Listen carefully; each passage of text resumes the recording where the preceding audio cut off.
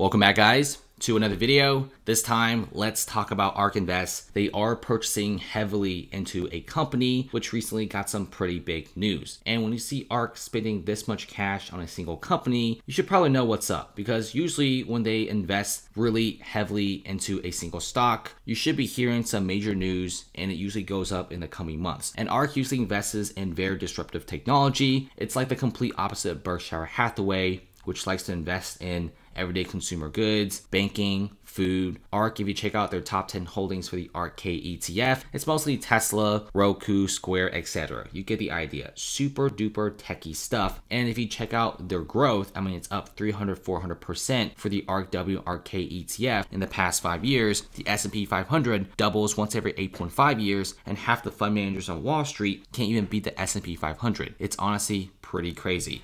So what's going on with ARK? Now, before we get started, definitely check out the free Discord server. Link in the description below. There's more than 21,000 members, and it's one of the biggest stock option Discord servers on the Discord platform, so definitely check it out. If you check out ARK at this current moment, they are increasing positions on their smaller areas, but they are increasing a lot of positions for Sea Limited. Ticker name is SE, and they totally have 730,000 shares and it's around roughly $144 million. The weight is 1% of the ETF, which may not seem much, but keep in mind that 1% of the overall ETF is still pretty big, especially recently, they increased their positions of Sea Limited by 100%. In a single day, and this was on December 4th of 2020, they purchased 366,000 shares of Sea Limited, which is roughly 0.5% of the ETF. I think ARK also had to sell some of their other stocks to pretty much fund this operation. And the thing about Sea Limited is they're getting some major news, and this is why ARK literally just blew $70 million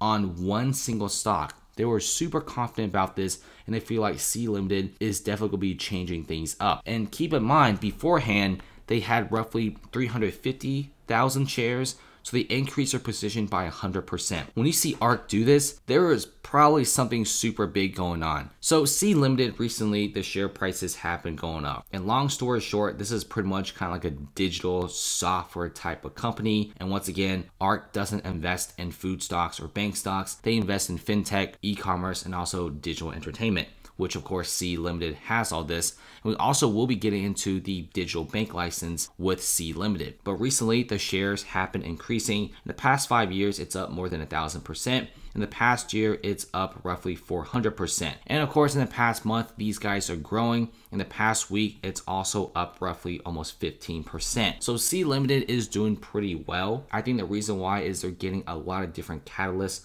for the company in the financial departments. You can see right here, Sea Limited just got awarded the digital bank license in Singapore. I think the reason why ARK bought Sea Limited was because of the bank license.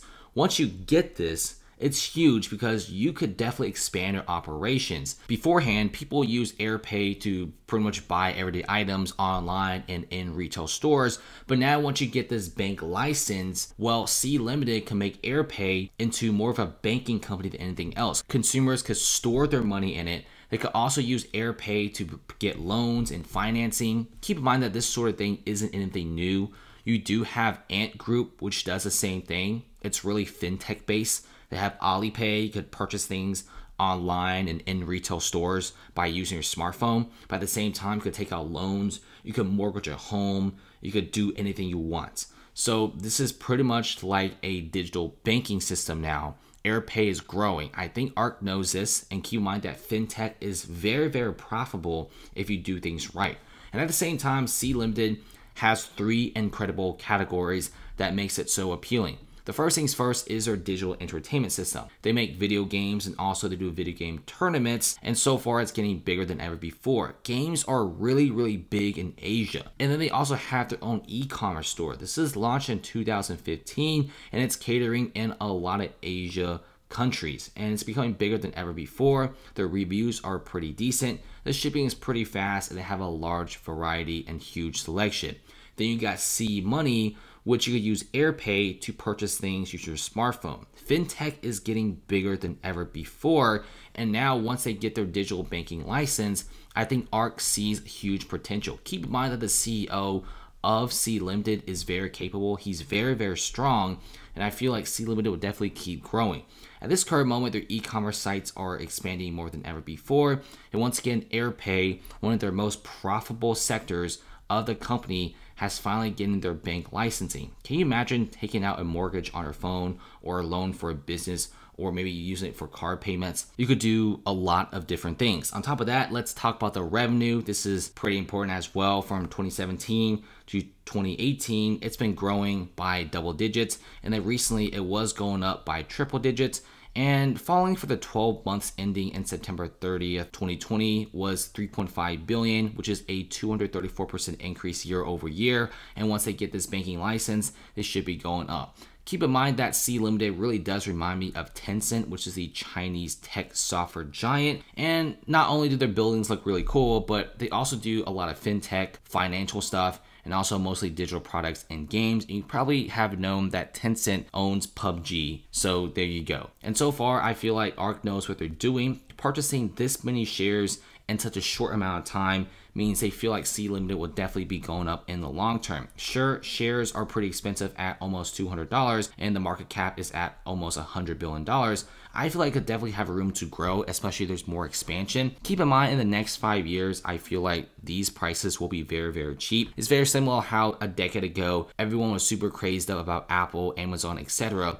Now people are more interested in heavy software stocks, fintech, digital entertainment, and also e-commerce, etc. So I really do feel like Sea Limited is a pretty good buy. Yes, I get it's pretty expensive, but look at ARK here. They blew $70 million in a single day for Sea Limited, even though it was at all-time highs, meaning that they feel like Sea Limited could definitely go up even further. Because at this current moment, they're probably one of the biggest players in Asia. They mostly focus themselves in Indonesia, in Taiwan, etc. The smaller countries, they're not really in China, but I feel like they are expanding as rapidly as possible and even making a foothold in Brazil. So they actually may be expanding South America, which is also a very profitable sector.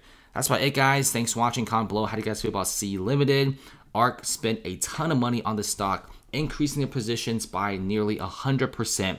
They're not messing around. They feel like SC this company would definitely be going up to the moon in the near future. Thanks for watching, guys, and comment below. Definitely subscribe and make sure you check out the free Discord server link in the description below. Once again, more than 21,000 members. It's completely free. I have a really good time. We share plays. And also check out my second channel. It's mostly focused on Tesla if you're really into that kind of stuff with really heavy news base and heavy edits. The best videos out there, in my opinion, really great Tesla content in the description below. And there's also Patreon if you guys want to check out my moves and also my trades in live time along with the mods and admins. We actually make a lot of really incredible trades and show you guys our profit and losses for every single month. And recently, we've been at a really good win streak, so definitely check it out, out as well. All right, that's about it.